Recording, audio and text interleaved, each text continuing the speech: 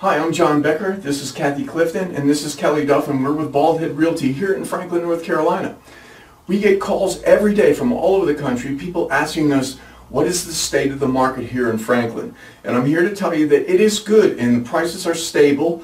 We're seeing less foreclosures now, which is going to help the market, and it's a great time to buy. All sorts of good things going on here. Kathy, why don't you tell us a little bit about it? Well, in addition to the market being great here, the mortgage packages that are available now are really attractive. For instance, you can still get 100% financing USDA loans. You can also get a FHA loan, which is 96.5% financing. And the interest rates are about 4.25%. That is amazing. Incredible. How about you, Kelly? Well, in the market right now here in the Franklin area, we have 653 homes for sale.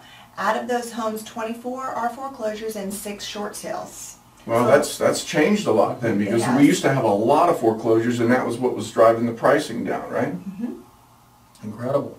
Okay, well, you have a little snippet there of what it looks like here in Macon County in Franklin, North Carolina, in the middle of the majestic Smoky Mountains. Again, I'm John Becker, this is Kathy Clifton, this is Kelly Duff, and we're inviting you to give us a call, 828-369-0000, to discuss your real estate needs. See you in the mountains soon.